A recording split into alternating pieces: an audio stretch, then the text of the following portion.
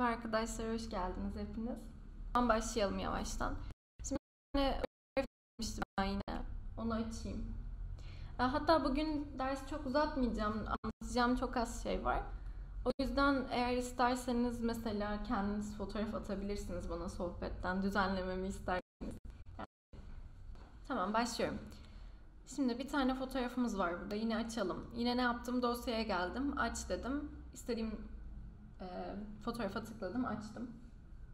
Buradan Şimdi sıvılaştır diye bir tool'umuz var. Liquify tool. O da şu işe yarıyor. Aynı ismindeki gibi. Bir resmi resmen böyle sıvılaştırıyor. Siz onunla oynayabilin diye.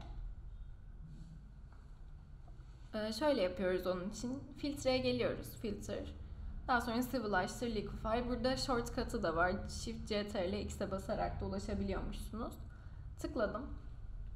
Önüme böyle pencere geldi. Şimdi burada yine birkaç tane tool'um var. Hep sol tarafta tool'larımız oluyor da. Sağ tarafta da e, manuel bir şekilde yani elimizle sayı girmek istersek diye veya fırçamızın özelliklerini görebilelim diye böyle özellikler, seçenekler var. Şimdi sırayla bunlara bir değinelim. Burada benim ileri aracım var. Bu ileri çarpıtma aracı şu. Hani böyle e, Photoshop yapmaya çalışırken işte telefondan falan veya yine Photoshop üzerinden duvarı falan yamultuyor ya insanlar. Aynen bu o aslında böyle mesela şöyle yana içe sokmaya çalışırken buralar yamuluyor. Aynı bu. Bugün ben size zaten bunların olmaması için neler yapmamız lazım onları göstereceğim. Daha sonra onun hemen altında yeniden yapılandırma aracı var. Bu da yaptığınız mesela bir çarpıtma işlemini bununla işte küçük küçük geri itebiliyorsunuz. Ama dediğim gibi Photoshop'un zaten sanırım 2017 ya da emin değilim. 2014'ten ee, sonraki sürümlerinde de olabilir.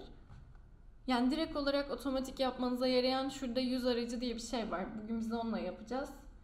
Çünkü çok zor olmasını istemiyorum. Hani ben mesela çok iyi anatomi bilen, çok iyi işte yüzün nasıl durduğunu bilen biriydim zamanda da mahvediyorum resimleri. Yani size de işte bununla yapmanızı öneririm açıkçası. Daha sonra bunun altında düzgünleştirme aracım var. Bunların hepsinin ne olduğuna tek tek değineceğiz tekrar. Niye öyle dedin aşk olsun? Sesin her an oturup ağlayacakmış hissi veriyor. Ondandır ya. Bir de yankı yapıyor. Biraz boş burası o yüzden. Ondan olabilir belki. Daha sonra hemen altında saat yönünde burgu aracı var. Ya bunun daha doğrusu ben de çok kullanmıyorum. En azından nasıl söyleyeyim işte yüzle vesaire uğraşırken. Çünkü şöyle bir şey biraz korkunç olacak ama şu an böyle yaparsam. Böyle bildiğiniz fotoğrafı büküyor yani. Yani şu an bunlara hiç gerek yok. Daha sonra burada bir aracım var. Bir aracım da şu işe yarıyor. Mesela ben kadının gözlerini küçültmek isteyeyim. Nasıl yaparım? Basılı tuttuğumda küçülüyor gördüğünüz gibi. Ya da işte dudağını küçültmek isteyeyim. Burnunu küçültmek isteyeyim. Tuttuğum yerleri büzüyor içine doğru. Öyle düşünebilirsiniz. Burada sonra şişirme aracı var. Bu da bunun tam tersi. Aksine büyütüyor yani. Mesela şöyle tıklıyorum. Gözü büyüyor vesaire. Tabi ince ayarlar yapmanız lazım. Böyle çok fazla şey yaparsanız işte ne bileyim abartırsanız gerçeklikten uzak bir şeye doğru gidiyor. Sonra e, sola itme aracım var. Bu da dediğim gibi yani benim çok kullandığım şeyler değil. O yüzden aşırı iyi de bilmiyorum nasıl olduğunu. Ay özür dilerim niye öyle çıkıyor sesim ya. Kusura bakmayın gerçekten kasıtlı şey yapmadım yani. ya biraz şey e, hasta gibiyim de korona değilim korkmayın. Belki onunla ilgisi vardır. E, daha sonra maske dondurma aracı var. Şimdi buna geleceğiz. Bu aslında şuna yarıyor.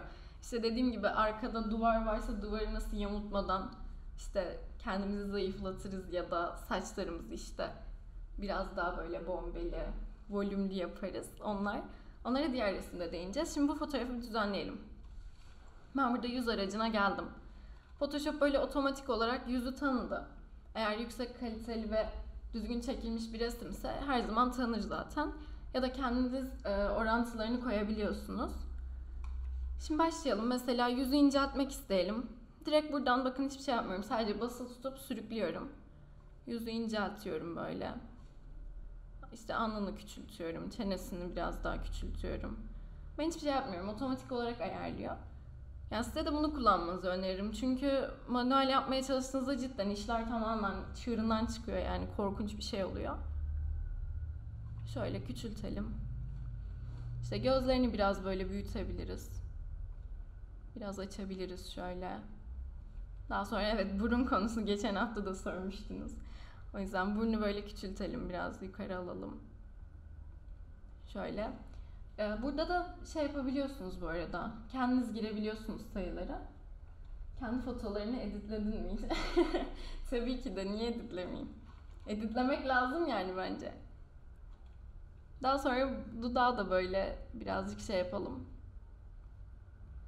Biraz daha hatta gülümsüyor gibi yapabiliriz şöyle. Ya da tam tersi somurtuyor gibi. Al işte diye. Ama Photoshop bilip de nasıl yani editlemeyeyim? Bence herkesin biraz yap yani ne anlamı var ki yoksa niye öğreniyoruz? Biraz böyle yapalım. Hatta daha da inceltebiliriz şöyle. Şimdi şurada ön izle diye bir buton var. Bu kızı Pennywise'a çevirsene. Tamam onu da yaparız sonra. Başka zaman yapalım onu da şimdi. Bunları tamamen anlatayım istiyorum. Daha sonra şöyle ön izle dediğimizde mesela kadının orijinal hali buydu. Biz bu hale getirdik sıvılaştırarak. Mesela gözleri bence çok büyük kalmış şu an. Gözlerini biraz daha küçültebiliriz. Yine bakıyorum. Bayağı bir şey yaptık yine. Düzenleme yaptık. Daha sonra tamam diyorum. Aslında tamamen olay bu. Yani çok kolay. Kendiniz de yapabilirsiniz. Asla aslında çok fazla Photoshop'u savunmuyorum. Çünkü işler çığırından çıkıyor dediğim gibi. Daha sonra bu fotoğrafı biraz düzenleyelim. Mesela burada ne öğrenmiştik? Nokta düzeltme aracı diye bir şey. İşte yüzündeki lekeleri böyle sadece boyayarak silebiliyorduk. Bu tarz işte.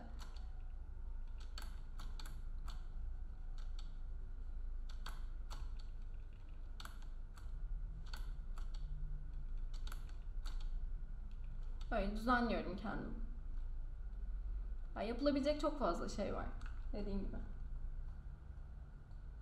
Yıldız Teknik Üniversitesi'nin kanalında kaç kişi var eski videolarda sayalım. Aynen e, bir robotik ve otomasyon kulübüyüz biz yani öğrenci kulübü. İşte her hafta böyle eğitimlerimiz oluyor. Yani bir ay sürecek. Benim dışımda galiba 3 arkadaş daha anlatıyor. 4 de olabilir. Şu an şaşırdım biraz. İşte robotik ve kodlama, yazılım eğitimleri veriyorlar. Onlara da bir göz atın gerçekten güzel. Böyle düzenliyorum. Anlamadığınız bir şey var mı? İlk onu sorayım. Nereden yapıyordum? Filtreye geliyorum, sıvılaştır diyorum. Daha sonra düzenliyorum.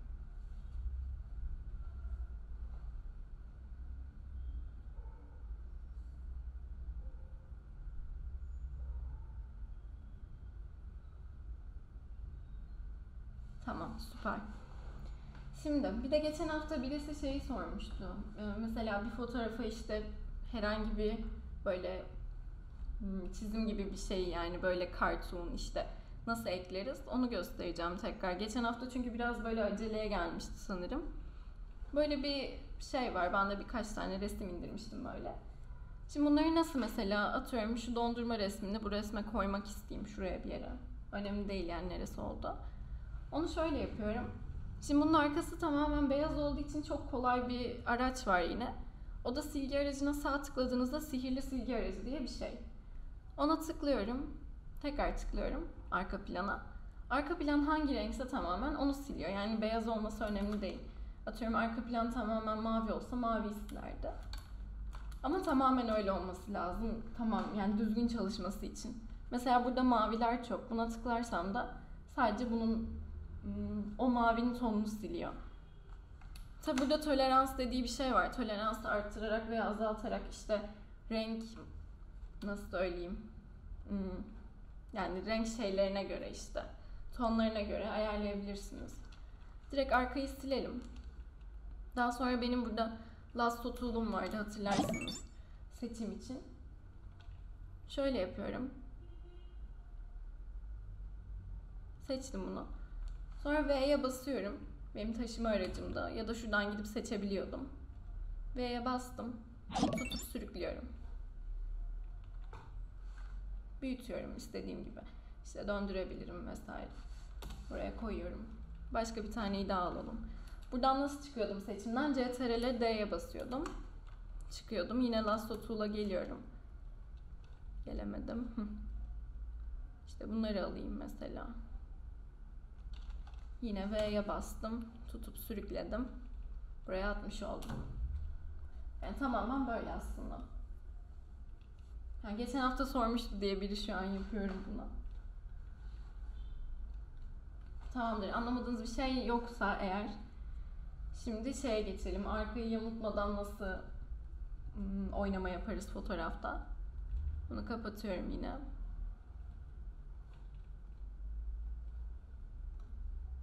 Şurada yeni başka bir fotoğraf indirmiştim. Onu açayım.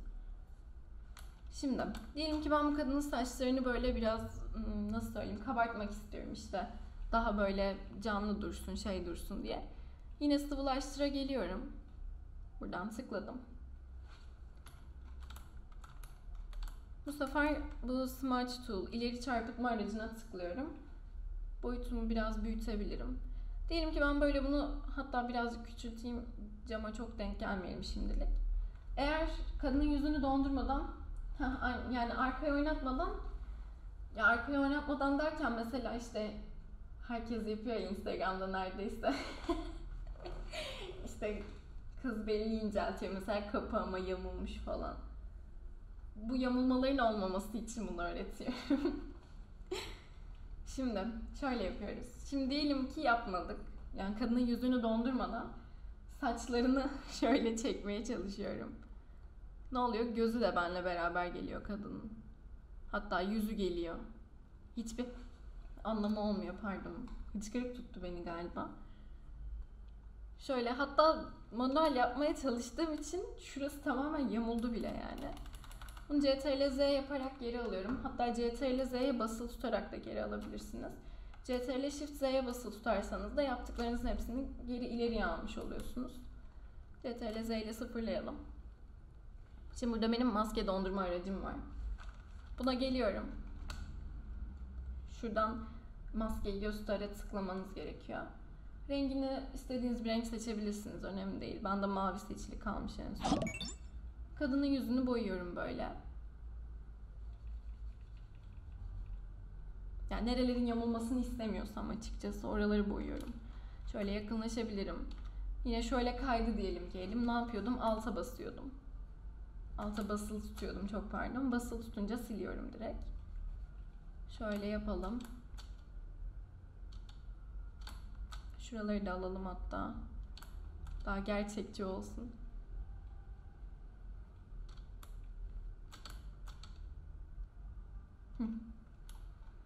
Tamamdır. Şimdilik bu kadarı tamam. Çünkü sadece bu tarafını şey yapacağız, oynayacağız. Mesela şişirme aracıma geliyorum. Şimdi göstermek istiyorum nasıl olacağını. Ya şu an kullanmıyorum grafik tableti. Şu an mouse'la yapıyorum. Kapattım onu yani. E çünkü herkesin yapabilmesini istiyorum. Herkes şey yapmadığı için. Grafik tablet vesaire kullanmadığı için. Aynen yayınları kaydediyorlar arkadaşlar. YouTube kanalına koyuyoruz aynen. Yani Twitch'te de oluyor zaten. Şöyle kadın saçını bu şişirme şeyiyle birazcık büyüttüm. Daha sonra Smudge Tool'a geliyorum. Biraz büyütüyorum brush yaklaşık. Hatta şuradan 500 yazayım. Şöyle. Ya şimdi arka plan oynuyor ama çok önemli değil çünkü çok arkası zaten böyle blurlu gibi hani. Önemli değil o yüzden. Ben şimdi bunu saçla gösteriyorum da siz işte anladınız o malum herkesin yapmaya çalıştığı şeyleri. Erkekler kaslarını şişirmeye çalışıyor, yamultuyor falan. Yani yaparken artık şey yaparsınız oraları. Halledersiniz. Hatta şurası kaydı. Şöyle şöyle işte. Şimdi maskeyi silerim. En önemli soru Photoshop'ta resim nasıl belli olur? Hmm. Ya çok profesyonel biri yapıyorsa belli olmaz. Benim yaptıklarım mesela bence herkes anlar Photoshop olduğunu. ben çünkü Photoshop'ta çok çok iyi değilim. dosya detaylarından da aynen çoğu zaman bulunabiliyor ama çoğu zaman da bulunamıyor. Farklı kaydetme yöntemleri vesaire var çünkü. Biz evde çalışıyoruz. Shop'a gerek yok. tamam öyle olsun. Mesela kadının saçını böyle biraz daha volümlü yaptık. Ya daha gerçekçi bir görünüm için arkayı da kitleyebilirsiniz tamamen. Çünkü arka planı biraz kaydırdık sanki. Ama çok azıcık o belli olmaz. Daha sonra bu kadının yüzüyle de biraz oynayalım. Şuradan yüz aracına geldim. Biraz inceltebiliriz şöyle. Yani doğallıktan yanayız ama bunları da bilmek lazım. Arka taraf kaydı da önemli değil ki. Arka taraf tamamen blurlu. Bunu gören birisi bence düşünmez. Baksana burası belli bile olmaz yani. Düzeltebilirsiniz onları tekrar.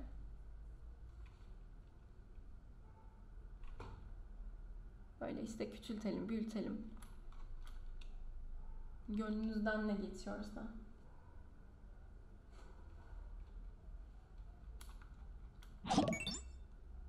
Şöyle yapalım işte bir şeyler. Burnu küçültelim. Burun estetiğini çok sormuştunuz. Şöyle bir ön izleyelim. Yine bayağı bir şey yaptık. Bu arada kadının burnu aşırı küçülmüş yani çok küçülmüş. Bu da hiç doğal değil. Şöyle yapalım. Tamam dedim. Şimdi Instagram'da bir filtre vardı. Hmm, insanlar şey yapıyordu. Böyle fotoğraf yine aynı fotoğraf ama böyle üstüne sanki o beyaz bir şekilde skeç yapılmış gibi. O nasıl yapacağınızı göstereceğim şimdi size. Şimdi onun için şöyle yapıyoruz. Yine CTRL J diyorum. Bu arada çok ya şu an anlamadınız büyük ihtimalle çünkü anlatamadım ama yapınca anlaşılacak sanki. Evet. Bu arada doğru yani. Neden hep tweetçiler geliyor? Hatta birisi geçen hafta şey yazmıştı. Bu kadar insan yani bu 30 kişi nasıl buldu bu yayını falan diye. Ben de bilmiyorum kesinlikle. Şimdi şöyle yapıyoruz. Katmanı nasıl kopyalıyorduk? CTRL J'ye basıyorduk. Ya da bunu böyle tutup layer'a sürüklüyordum. Yine kopya oluyordu. Tıklayıp katmanı çoğaltıyordum. Tamam diyordum. Ya 3-4 farklı yöntem var. Nasıl rahat ederseniz yapabilirsiniz. Gerçekten önerilenlerden mi geldi? Süpermiş. Tamam. Şimdi arka planımızı kopyaladık. Sonra ne yapıyoruz? Hızlı seçim aracımıza geliyoruz. Burada W'ya basarak da gelebiliyorsunuz. Özne seç diyorum. Şimdi özne seç dediğimde direkt kadını seçiyor kendisi. Eğer arka planı çok karmaşık değilse. Sonra seç ve maskele diyorum. Böyle arkasını garip bir şey yaptı. Hiç hoş değil. Onları nasıl düzeltiyorduk? Buradan düzgünleştir diyordum. Yarı çapımı biraz arttırıyordum.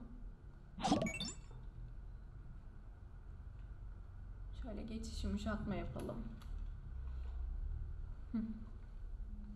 Bilgisayar yavaşladı gerçekten.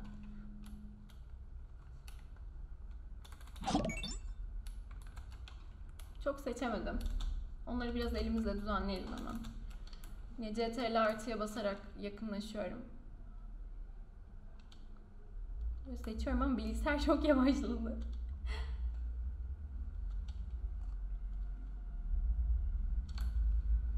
Tamamdır. Orası da okey. Şöyle geriye geleyim biraz. Umarım gelecek bir gün.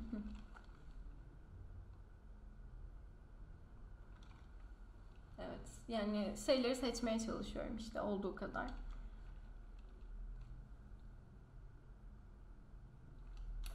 Herhalde oldu ya. Çünkü niye bu kadar kastığını kesinlikle anlamadım şu an. Çok moralim bozuldu üstelik. Şöyle sileyim. Silmeye çalışayım. Ya kodlamayı ben yapmıyorum. Hem de hiç bilmiyorum kodlama yapmayı. Bana kulüpte öğretmeye çalıştılar yaklaşık olarak bir yıl boyunca. Hatta bir iki yılda denebilir. Bayağı uğraştılar yani. Ama kesinlikle anlamadım. Onu ben diğer arkadaşlara bırakıyorum o yüzden. Kodlamayı vesaire.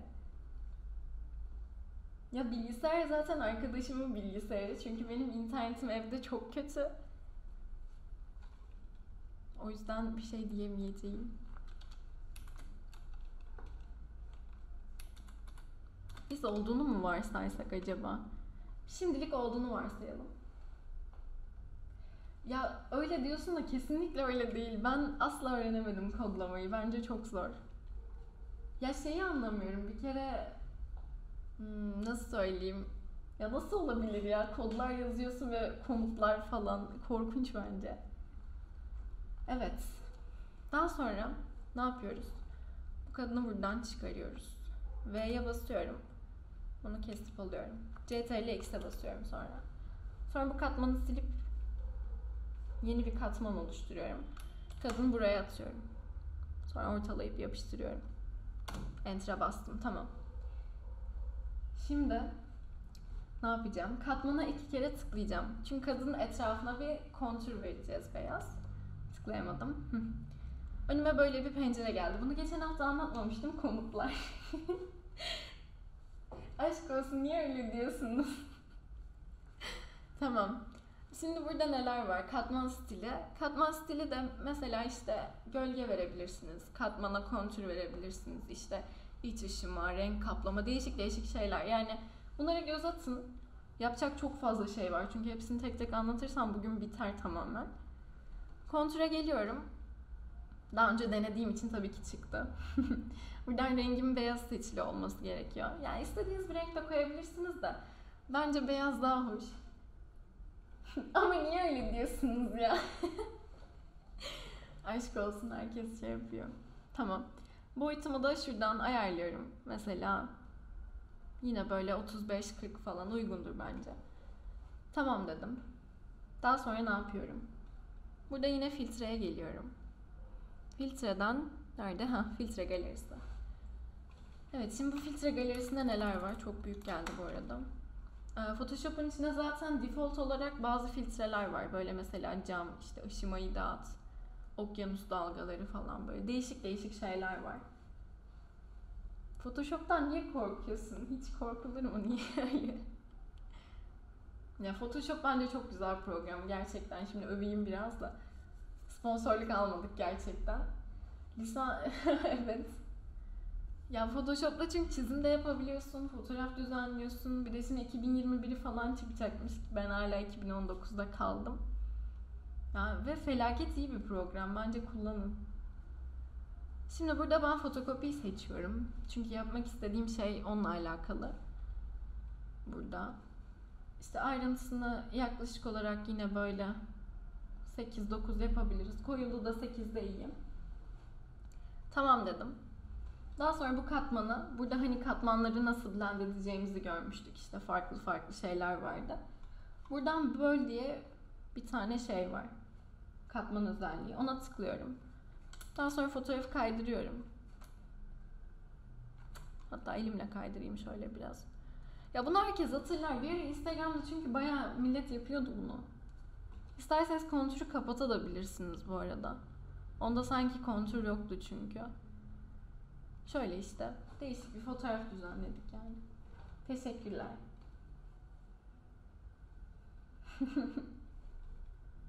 ben de çalıştığım için şu an yoksa gerçekten çok pahalı ya Photoshop. Adobe yani aşırı pahalı.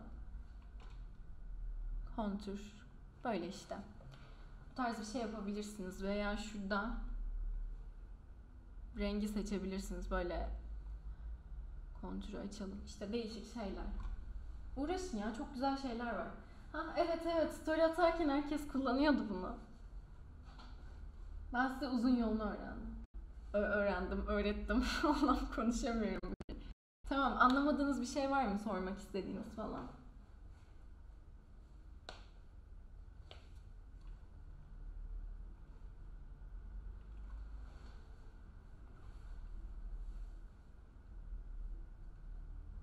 Sanırım yok. Var kızın ayağı mı? ya niye böyle şeylere takılıyorsunuz? Bakmayın oraya. Şöyle dursun resim. ya ben bu resimleri bu arada Pexas'tan buluyorum. Zaten yazıyordur burada. Pexas'ı kullanın arkadaşlar. Gerçekten çok güzel, yani çok kaliteli resimler var. Bir de şey ücretsiz yani resimlerin çoğunluğu. Sadece insanların kim olduğunu belli etmeniz lazım. Ben crackleyin demiyorum. Asla crackleyin demedim. Ben de ofis yüzünden böyle kullanıyorum zaten. Hani onlar satın aldıkları için. 2021 sürümünde biz bir şey yapmayacağız. Yapay zeka. ya şu an bile her şeyi yapıyorlar. S ve J mi? tamam tamam. Ben şimdi diğer resme geçiyorum. Bugün bir tutorial öğrendim. Benim çok hoşuma gitti. Belki siz de yapmak istersiniz diye şimdi göstereceğim. Yani yabancı tutorial'lar yani herkes İngilizce izlemek zorunda değil sonuçta. Türkçe anlatayım diye. Programı da o yüzden zaten yıllar önce daha doğrusu Türkçe kurmuştum işte 2019. Böyle kaldım. Kesinlikle katılıyorum. Tamamdır. Şimdi yapalım. Elimizde böyle bir resim var. Bu resme böyle ortasına kocaman bir küre ekleyeceğiz işte. Mercek gibi. Şeffaf bir şey. CS6 bence çok iyi değil açıkçası. Ya hatta CS6'dan sonraki herhangi bir sürüm bence çok çok iyidir. Çünkü çok fazla özellik geldi. Dediğim gibi daha otomatikleşti işler. Benim gibi mesela anatomi bilmeyen insanlar daha kolay şeyler yapmaya başladı falan. Az önceki kızı eklesene. yok yok öyle bir şey yapmayalım. Şimdi bunu nasıl yapacağız? Öncelikle resmimizi açtık. Sonra hani buradan bizim e, seçim araçlarımız vardı.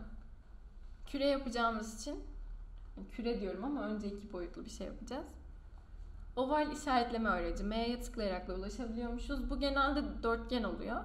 Buna sağ tıklayarak ovale gelin. Shift'e basılı tutarak daha sonra koymak istediğiniz yere böyle bir tane hatta daha da büyük bile olabilir. Sürükleyin. Daha sonra yine buna basarak istediğim yere koyuyorum böyle. Yukarıdan daha ikiye mi bölsün? Onu da yaparız. Tamam söz. Onu da yapacağız. Şimdi nereye gitti? Ha. Daha sonra nasıl dolgu yapıyordum? Evet hadi. Önemli bir soru sordum. Nasıl içini doldururum bunu siyah? Brush demeyin.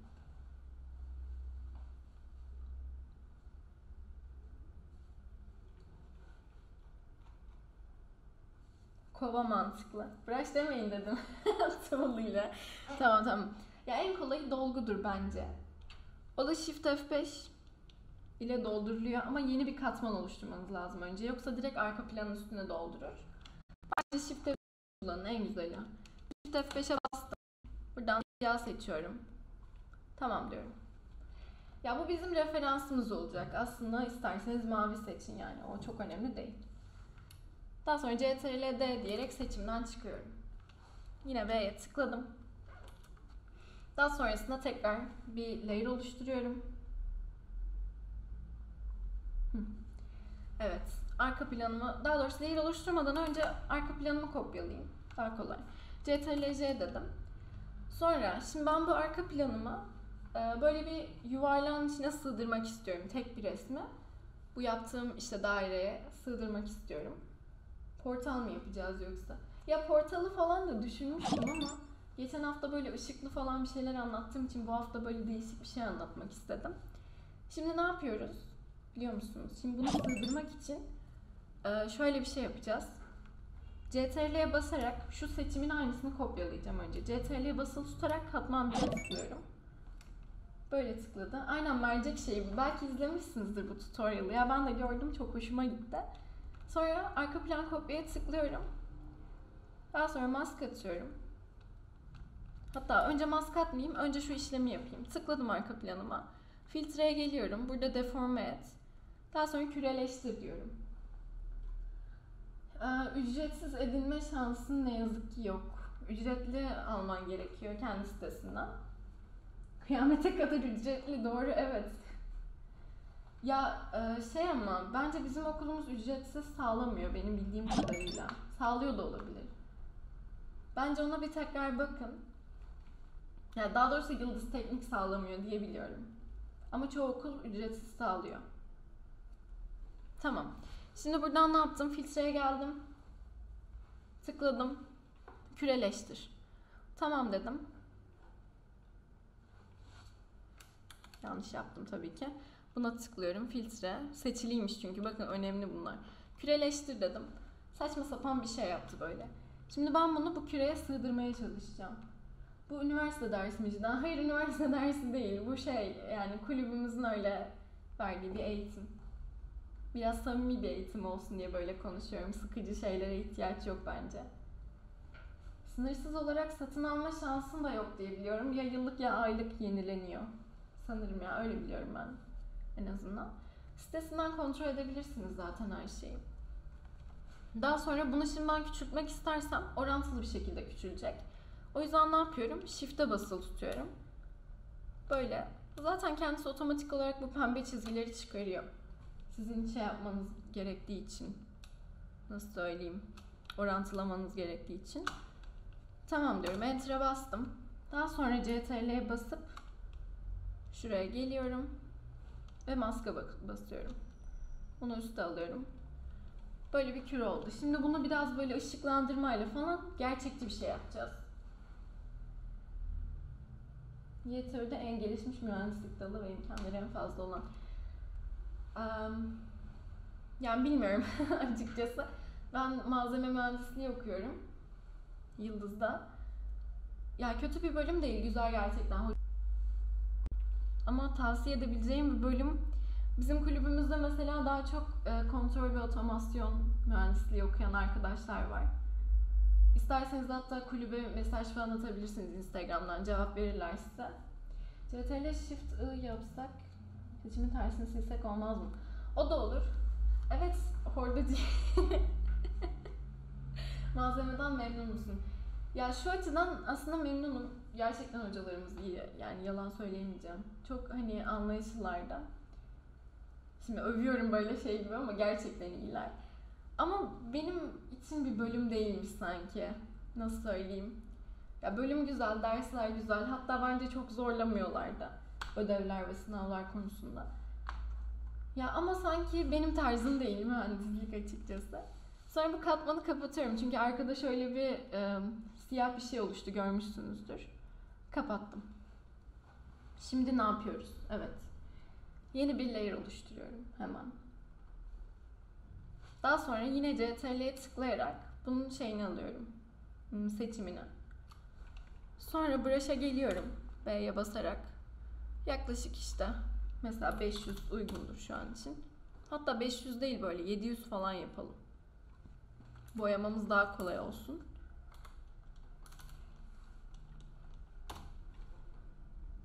Şöyle niye böyle oldu demeyin. Her şey yoluna girecek.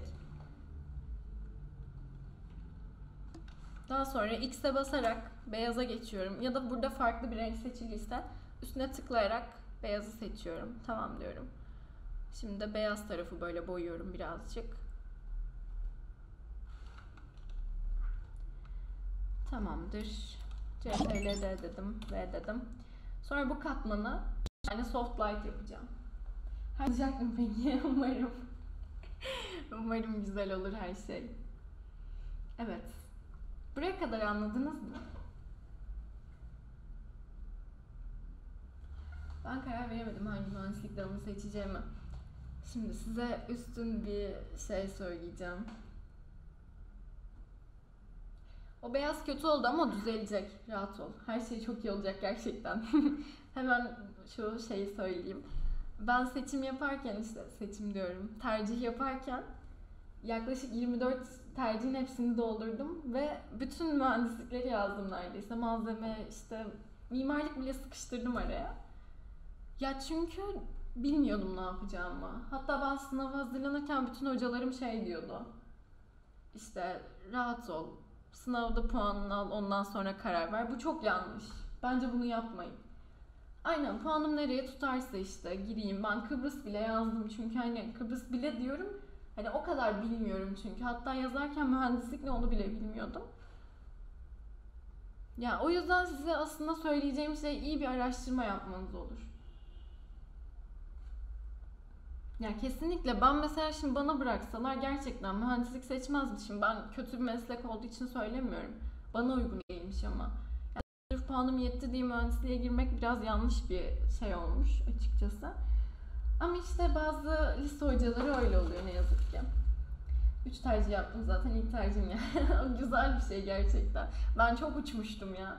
Kariyer değişikliği yapacak mısın? Onu da bilmiyorum. Yani kariyer değişikliği bakalım ya belki. Ama okul okuyacağım gibi duruyor çünkü yani biliyorsunuz işte Türkiye koşulları vesaire.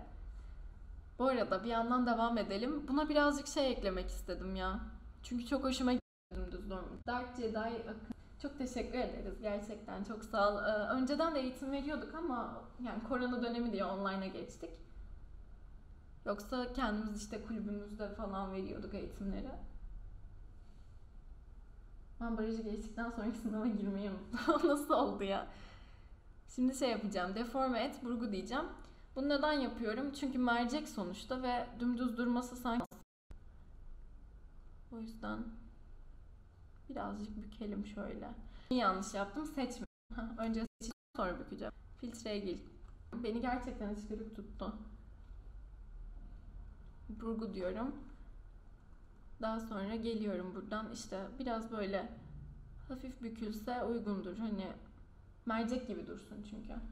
Malzeme güzel canım kötü değil. Yani dediğim gibi kötü bir bölüm değil. Seven için çok da güzel. Yine CTRL'de yapıp seçimden çıkıyorum. Yeni bir katman oluşturuyorum. Şu merceğin üstünü biraz daha mercek olduğunu belli edelim şimdi. Yine brush'ıma geldim beyaz seçiliyken. Yine CTRL ile seçeyim. Bu sefer küçültebilirim. Ben YTV elektrikliyim. Kimya meteoroloji isminin pek havalı olması da iş imkanı geniş bölümler gençler. Kimya mühendisliğim falan. Ya kesinlikle ya malzeme falan gerçekten ya her şeyde çalışabiliyorsunuz neredeyse. Her şeyde dediğim işte üretim teknolojisinde çalışabiliyorsunuz. İşte kalite kontrolü olsun. Malzeme her yerde var. Kimya da öyle. Açıkta kalmazsınız gerçekten doğru dediğin şey. Bu katmanda kaplama yapacağım. Şu an çok parlak oldu. O yüzden biraz opaklığını düşürebilirim. Yine CTRL'de yapalım bir görelim. Fena olmadı gibi işte. Yine CTRL'ye basayım. Bu sefer tıklayayım. CTRL'de. Bu sefer gireceğiz buna. İç ışıma da şöyle bir şey. Şöyle birazcık şey yapalım. Burada bo dediği şeyi yani çok işte neyse. Onu şey yapmıyorum çok fazla. Hatta neredeyse sıfır yapacağım çünkü sanki şey gibi yapıyor böyle. Hoş değil ya. Bütün etrafında beyaz bir şey olması bence güzel değil. Ama hadi 10 falan olsun. Boyutlarında 160 170 tamamdır. Evet malzemeden mezun olanlar kimyacılardan daha iyi oluyorlarmış. Doğru mu? Ya daha iyi diyemem. Çalışma alanı belki daha geniştir ama. Çünkü malzemede bayağı fazladan hani şey bir de e, yüksek lisans muhabbetleri falan da herhalde daha etkili oluyor. Mesela nanoteknoloji okuduğun zaman sanki daha şey nasıl söyleyeyim etkili yani öyle diyeyim. Ama yani ondan daha iyidir, daha kötüdür yorumunu yapmak bana düşmez açıkçası. Yeter elektrik nasıldır hiç bilmiyorum gerçekten. Ama e, dediğim gibi yine şeye sorabilirsiniz. Yani Instagram'da böyle sayfalar açıldı işte Yıldız Teknik elektrik mühendisliği, yıldız teknik makine mühendisliği falan filan. Hmm, yani şey nasıl söyleyeyim? Nasıldır? Ee, oraları yazabilirsin. Hani insanlar yorum falan da yapıyor. Yine dediğim gibi hiç olmadı bizim kulüpten falan birileri kesin okuyor. Hatta şu an belki vardır bile chatte birileri sanmıyorum ama belki vardır. Şöyle bir tavsiye vereyim. Chat'e ne kadar basarsanız Aynen katılıyorum bence de. Hatta böyle daha iyi oldu. Kaçıncı sınıfsın? İkinci sınıfım. Geçtim ikiye sonunda. Ama biraz fazla ders aldım online diye. O yüzden bilmiyorum sınavlar gelince ne yapacağım. Yani korkunç oldu. Son bir şey yapalım bu arada. Yeni bir katman oluşturalım buraya. Yine brush'ıma geldim. Bu sefer siyah seçiyorum. Biraz büyütebilirim hatta şöyle. Oh çok büyüdü. 600 falan yapalım düz olsun. Buraya bir yere tıklıyorum. Neresi olduğu önemli değil. Daha sonra bunu şuraya taşıyorum. Shift'e basarak şöyle hani bir gölgeymiş gibi yapacağım bunu. Ya olduğu kadar işte hani ya ışık teoremlerini falan ben hiç bilmiyorum açıkçası Photoshop için vesaire. Ya hiç diyemem ama çok iyi değilim açıkçası. O yüzden belki yani belki de büyük ihtimalle benden daha iyi işler çıkarırsınız yaptığınızda. Şöyle yapalım. Biraz opaklığını falan azaltabiliriz. Hani sanki havadaymış gibi işte. Oldu gibi. Güneş arkadan ama evet işte diyorum ya bir hata yapıyorum. Sanki bir saçmalık. Bunun gölgesi nereye düşer o zaman? Size bir soru. evet. Gölgesi düşmez mi ya da bilmiyorum ki. Şöyle mi yapsak? Böyle yapalım. Dursun ya burada. Fena olmadı. Bir, bir gariplik var ama güzel oldu. Yolun sonu olmaz mı? Kendine güneş yap gitsin. Ya kendime güneş... Aa ışık ekleyelim mi? Bakalım güzel olacak mı harbiden? Yeni bir katman oluşturayım yine. Shift F5 diyorum. Ya tıkladı. Ne yapıyordum buradan? Filtre. Filtre miydi? Evet. Ee, neredendi ya? Burada mıydı acaba? Bir yerden lenslere geliyorduk ama ben sizden daha hızlı unuttum gerçekten. Bunu nasıl başardım hiçbir fikrim yok. Şuradan. Güneş tam nerede ki? Ön tarafında olur. Güneş soldan vuruyor. Sol çapraz. Sol çapraz ama hangimize göre sol çapraz? Şöyle falan mı? Buraya mı düşer? Ama burada da gözükmedi ki. Bariyerlerin üstüne düşerse de işte onu tekrar distort etmek lazım. Bence gölge koymayalım. Daha manipülasyon olmuş olsun işte. Bariyerin gölgesine bak anlarsın. Hmm, evet. Şöyle diyorsun. Ama neden düşünmedim? Doğru. Evet güzel oldum. Şimdi yayının başında şey demiştim. Sizden fotoğraf isteyebilirim. Hani düzenleyelim işte. Birkaç tane şey yapalım falan diye. Eğer atmak isteyen varsa atsın. Yoksa hmm, sorularınızı cevaplayabilirim. Çok zekice. Gerçekten zekice bu arada yani. Niye düşünmedim ki? Çok mantıklı bence. Ve ben bir saattir havaya bakıyorum. Acaba güneş şuradan mı vurur, buradan mı vurur diye.